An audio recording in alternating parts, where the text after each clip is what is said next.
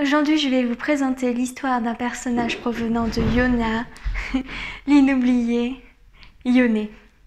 Les humains mentent, pas les lames.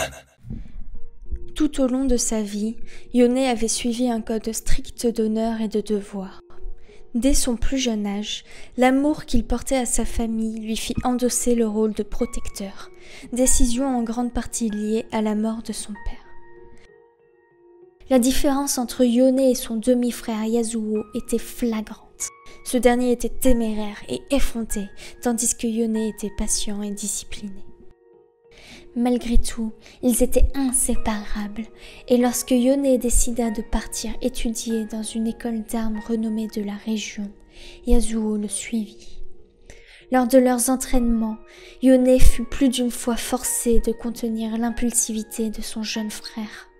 Cependant, lorsque Yasuo refusa d'étudier sous la tutelle de l'ancien Suma, maître de la légendaire technique du vent, Yone lui offrit une graine d'érable, symbole d'humilité, en signe de soutien et d'encouragement. Yone était fier de son frère. Avait fini par accepter la proposition de Suma, mais il doutait du jugement du vénérable maître. Il craignait que le tempérament de Yasuo en fasse un mauvais élève. Néanmoins, l'ancien Souma était très respecté et ne prenait aucune décision irréfléchie. Mettant ses craintes de côté, Yone continua de perfectionner sa technique d'escrime double et il gagna très vite le respect et l'admiration de ses pairs. Même si les compétences de Yone étaient inégalées, la technique de vent de Yasuo fit de leur duel des événements à ne pas manquer. Cela les réjouissait tous deux. Cette joie fut hélas de courte durée. La guerre éclata à Ionia. Yone partit aux côtés de nombreux autres disciples pour s'opposer aux forces noxiennes. Yasuo resta en arrière, à contre-coeur, pour protéger son maître. Une nuit, l'ancien Suma fut retrouvé mort, assassiné par la technique qu'il avait lui-même enseignée. Lorsque Yone revint, il découvrit que Yasuo s'était enfui. Yone fut dévasté, ses craintes s'étaient réalisées et l'ancien Suma s'était trompé. Yone rejeta la faute sur lui-même. Si c'était Yasuo qui avait assassiné Suma, alors Yone avait été incapable de lui enseigner la justice. Si Yasuo avait seulement abandonné son poste et ainsi causé la mort de son maître, alors Yone avait échoué à lui apprendre la discipline. Dans tous les cas, Yasuo avait déjà tué plusieurs de ses poursuivants. Pour Yone, leur sang tachait autant ses mains que celles de son frère. Il décida de traquer Yasuo. Quand enfin leurs sabres se croisèrent, la maîtrise du vent de Yasuo prit le dessus sur la force incomparable de Yone et le fugitif abattit son frère. La mort n'était cependant pas la fin pour ce dernier. Lorsque Yone se réveilla dans le royaume spirituel, le poids de son échec l'écrasa. Il laissa sa fureur se déchaîner et frappa le sol de ses poings dans un excès de rage.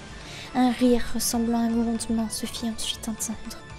Yone se retourna et découvra un esprit à forme humaine, muni d'un sabre rouge sang. C'était un puissant Azakana, une entité néfaste qui traquait Yone depuis longtemps par-delà le voile. Avant que Yone ne puisse parler, l'esprit attaqua. Yone dégaina les échos spirituels de ses sabres juste à temps pour bloquer l'assaut. De nouveau, au cours de ce duel, sa technique d'escrime inégalée fut submergée par la magie. La colère le consuma. Il sentit une vie entière d'honneur et de devoir se briser. Enragé, il arracha le sabre de l'Azakana et le pourfendit avec. La dernière chose qu'il entendit avant de se faire à nouveau happer par les ténèbres fut le même rire sombre. Lorsqu'il se réveilla, Yone était dans le monde des mortels, même si ce n'était plus qu'une terre désolée, déchirée par la guerre. Il se remit difficilement debout, la tête emplie de souvenirs flous du royaume spirituel, un sabre rouge sang dans la main. Sur son visage, un masque était apparu, prenant les traits de la sakana. Il ne pouvait pas le retirer, mais il pouvait maintenant voir d'autres Azakana à travers les yeux du masque. Il n'était pas encore de vrais démons. Il devait se nourrir de négativité avant de pouvoir enfin se manifester pour dévorer leurs hôtes.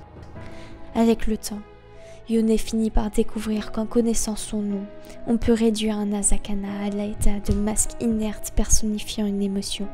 Néanmoins, il ne pouvait prédire si ou quand l'Azakana qu'il portait se réveillerait un jour pour le consumer. Au cours de sa vie, Yone avait porté les masques du protecteur, du frère et du disciple pendant si longtemps qu'ils en étaient devenus son identité.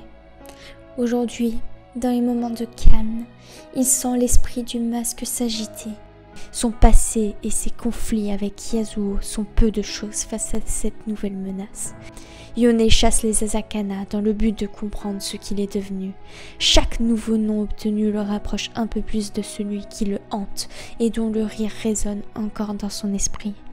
Rien d'autre n'a d'importance. Seule la poursuite de la vérité compte. J'espère que cette toute nouvelle vidéo vous aura plu. Si c'est le cas, n'hésitez pas à vous abonner ou encore la partager, cela m'aiderait beaucoup. Et euh, donc n'hésitez pas dans les commentaires à me dire quel personnage vous voulez pour la prochaine fois. Et je vous dis à la prochaine.